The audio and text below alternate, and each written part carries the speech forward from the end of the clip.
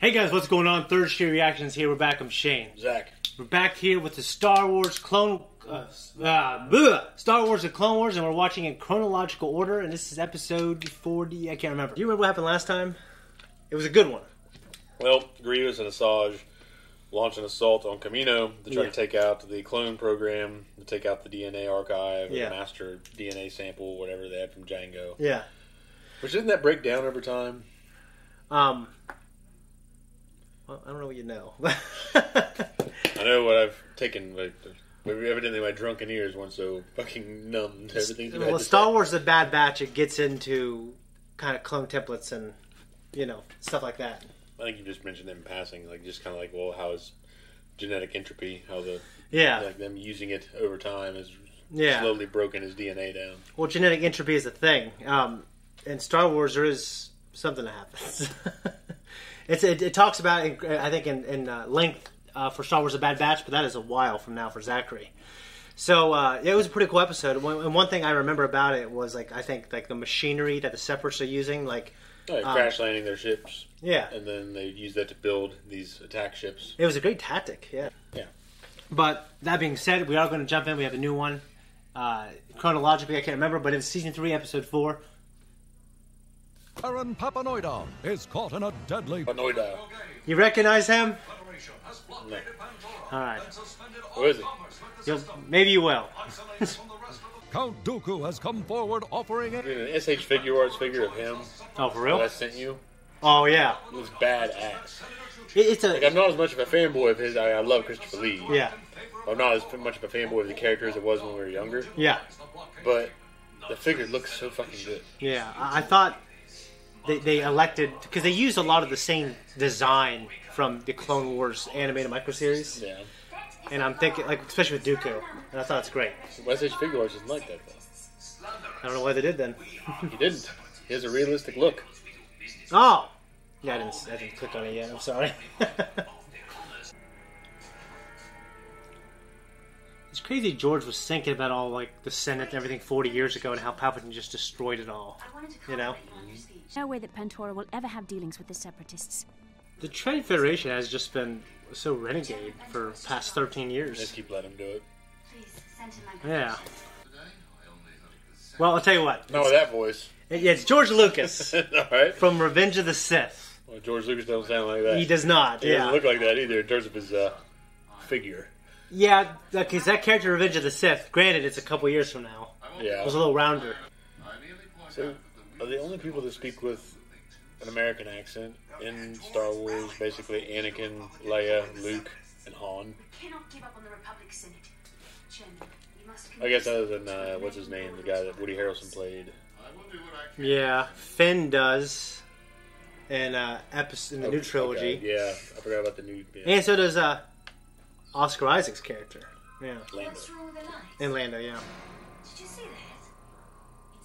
And George asked James Earl Jones to use an American accent, although sometimes it the Britishness leaks through. Don't tell me you're afraid of the dark. Sometimes it's the R is kind of the way he stresses it. Yeah. But I don't think I don't think it's very British. I feel it's more like kind of drawn out, dramatic kind of. Yeah, It's not like the fucking Imperial soldiers. no.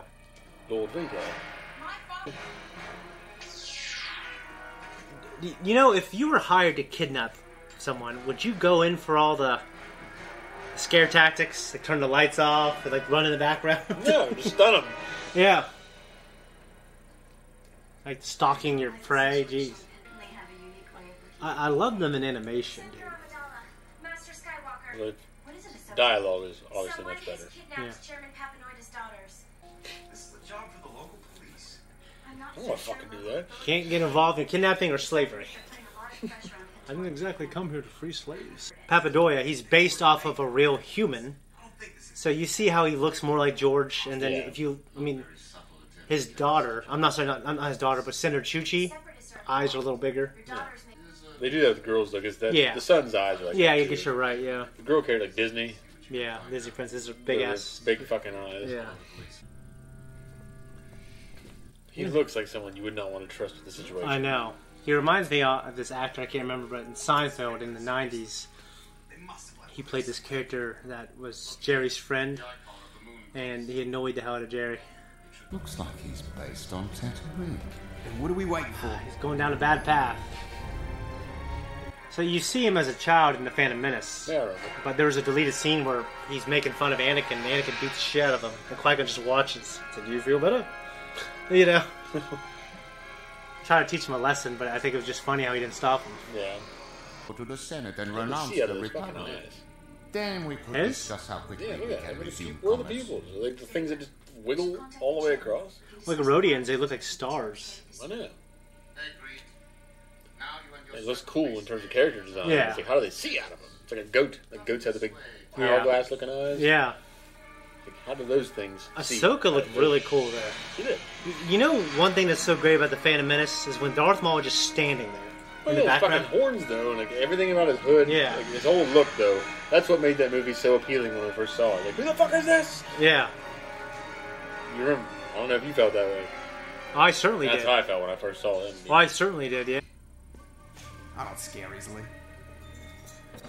Sniffing little shit. I don't scare easily. What's interesting, Hey! Rotta. Yeah, Don't play with your food. Stinky, but Rotta is his real name, I think. Word of the Hutt.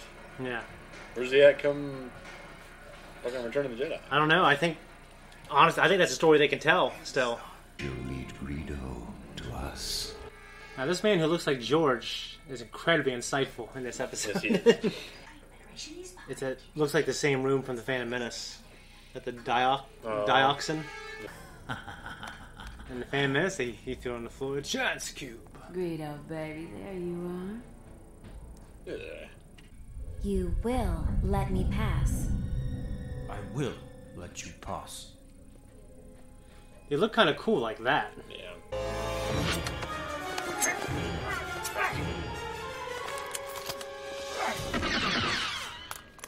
We're going to talk to Jabba about this. Good. You know what's interesting is in episode four they go into the detention area and they weren't. No, There was- caught. Yeah, there was no security alert. Figured the Death Star would have better technology than these guys. Yeah. I have to say, Jabba benefits from the transition to animation. I think. Kind of looks like something that would be in Wind Waker. Yeah, he does. But I do like. I did like him in the movies. Oh, I love him in the movies. Yeah. I, I'm not saying he's better. I'm saying he- it's just a benefit. I think. I love how Jabba is like the law too. Yeah. Like even Qui Gon wanted to get them involved because they they do bring order. They're just also you know they just want to sell their spice. Looks like Boba. Yeah. Book of Boba Fett. Yeah. It's a long story. I know.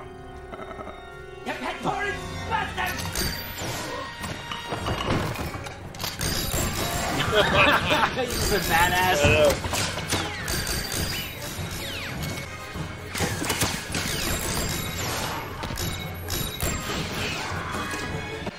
Is that a? Yeah, it looked like even though he didn't have a hammer on the Yeah. laser pistol. It is kind of.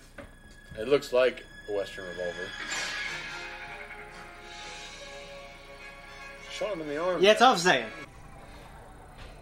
It has come to our attention that the ugly head of the Separatists has once again raised itself in the ranks of our very own Trade Federation.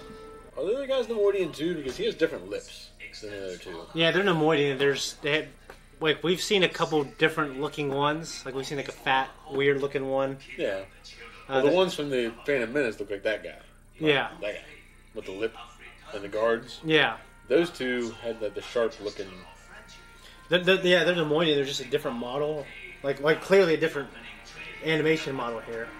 But yeah, they just they always try to make them look a little different. It's weird because it, it's a very stark contrast Yeah. facial features. But Um, like the, the the one thing I think is like the Weequays. Uh, they all look really similar except Hondo. Like he, he looks pretty different in some ways. yeah, I mean he has the, the he has the goggles on though. And Yeah. A little more flamboyant. Yeah. But Uh, his overall person like look though. Yeah. All right, so we got a kind of a bunch of stuff here. What'd you think? I liked it. Yeah. I thought it was pretty good. I Yeah. liked uh, Chuchi and uh, Yeah, it's, it's good to have those characters back. well George Lucas's character. He's also they gave him a badass character. You know, He, he was great. He, he was like Liam Neeson and uh, Taken. yeah. He, he he finds evidence with the blood, hunts him down, and he's like, yeah, and and he's a badass taking cover. He's moving Yep. so much quicker than I imagine George Lucas can can move. Yeah. Um, What was it before his retirement? yeah, and we also had uh, Greedo coming to the Clone Wars. What do you think of seeing him?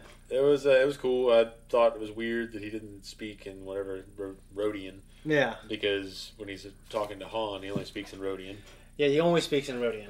So And, um, but in Phantom Menace, he speaks in you know Galactic Basic. yeah, But why? You know what I mean? So it- it's been it's been said that basic is like English and Huttese is like Spanish. So most people speak Spanish, and this universe speak both. Um, I imagine when in 1977, probably when he uh, did Greedo, he might not even been thinking about it. You know what I mean? But as I know, a but why would he change it? Though, is what I'm saying. uh, well, in a kids show, most of the time, except for Jabba, they always speak English or basic, uh, in, in most cases. What's the point?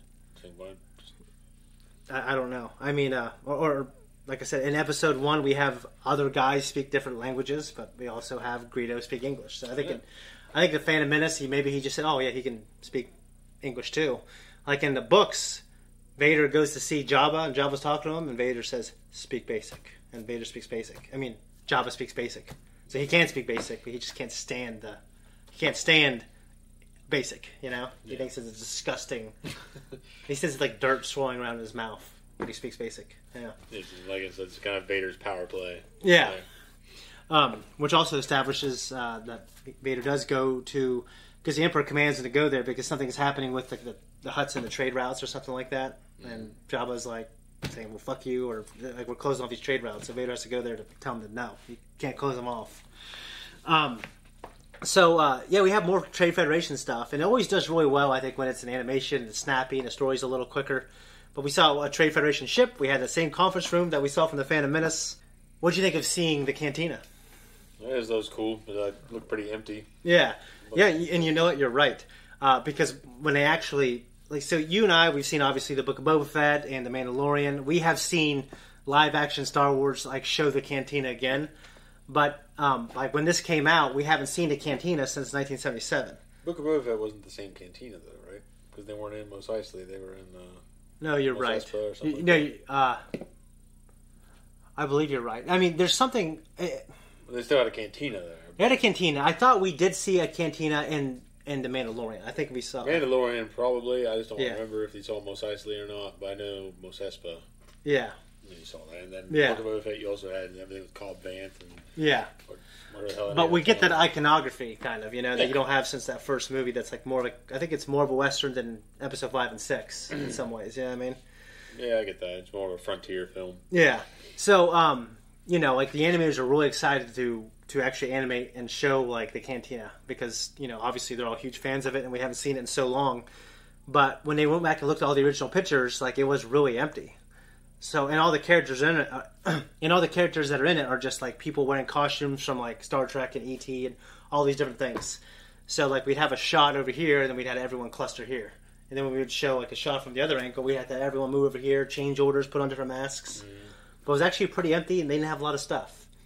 So they decided, you know what? Let's just make it kind of empty. Like this is the afternoon. There's not a lot of people here yet. Yeah, You know- even outside, it wasn't like bustling. No, it wasn't. Um, no, but I thought it was pretty sweet. It's good to see Rotta the Hutt again, so you know he's still around, and you have a good question. And I can say that, to my knowledge, um, I'm not sure they have even talked about what happens to Rotta and why he's not in the. I mean, it's possible, I guess, that he sends him to do other things. Yeah, in the Book of Boba but they have long the lives. Like they have really long lives, so he might still be a kid, just kind of like uh, Yoda. Book Yoda of. Boba Fett, the other two Hutts that came back and tried to challenge him. Yeah. That hired, uh, or that black haired Wookiee. Uh, Chrysanthemum Black. Yeah. Which is he was fucking sweet. yeah. yeah. But uh, they hired him to come in and take out Boba Mhm. and shit. And Yeah. so I mean, the Hutts might have sent, you know, Jaw may have sent him somewhere else. Yeah. To continue his Yeah. education. But you're right, he may just be growing slowly because Yoda's race grows very slowly and lives a lot longer. Yeah. But they mature a lot slower. Yes, yes. Um, yeah, Greedo's going down a dark path. We all know what happens to him in the end. Yeah, and it's not a very glamorous thing. So obviously Jabba forgives them here, you know. Yeah. So I'm wondering. Or maybe it could be for show. Jabba. Well, after the book of Boba Like Fett, you got caught. yeah, You- brought this to my doorstep. You got caught. yeah. So Well, after the book of Boba Fett, it really established like how much power and respect Jabba commanded. He was able to keep everyone together and in line for decades and decades. Mm-hmm. So I, I just thought that was really cool because he's like a bad guy, but he's not like he's not evil. He's just a drug lord, and he doesn't allow crime unless it's his crime. You know what I mean? No other crime. Like if someone breaks off, it's like like and it's like kind of Old Testament justice. Like if you steal, cut off your hand. It's it's a it's a he's pretty hardcore about keeping the law. Like when I read the books, Yeah. but like I said, he's obviously breaks the law all the time. Yeah. I just think it's really cool. It just adds more to Jabba. You don't pay what you fucking owe him. Yeah, Then exactly. Then he'll add interest. He'll, he'll kill you. It'll freeze you in carbonite. Um, yeah, I don't. Yeah, I don't got anything else. I thought it was a good one. It was cool to see the Pantorans again, like you said, Chuchi. I don't, I don't got anything else, sir. You? I have nothing. That's it. All right, thanks everyone for tuning in. If you like what we do here, like, subscribe, mm. Instagram, Twitter, Both. Patreon, early access, full length, you name it. We may not have it. We'll see.